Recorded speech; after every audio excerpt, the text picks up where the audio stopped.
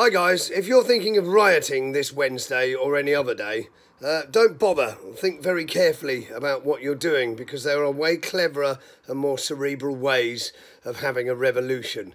Uh, from what I can see with all this rioting, it's just idiots and factions and groups going out there and smashing each other up and smashing each other's stuff up. It's childish. It's fucking childish behaviour and you're all fucking pricks for doing it. If you're rebelling against the police or the government, fine. But even then, statistically, when people have riots and go up against the police, there are more injuries to the uh, civilians than there are the police. And I'm not even talking about the injuries that come from the police. They are well documented. I'm talking about the injuries that come from idiots turning on each other. Like, you know, when you see a dog chasing a rabbit in a hedge, like three dogs go chasing a rabbit in a hedge. And then what happens is they can't catch the rabbit, so they start biting each other. That's what all you fucking ignorant fucks are like. So stop fucking rioting. Use your brains. If you want to bring about change in this world, start thinking. Let's get cerebral with this. Because as far as I'm concerned, you're all idiots. You're acting like kids. You're just greedy, uh, infighting, um, faction bullshit.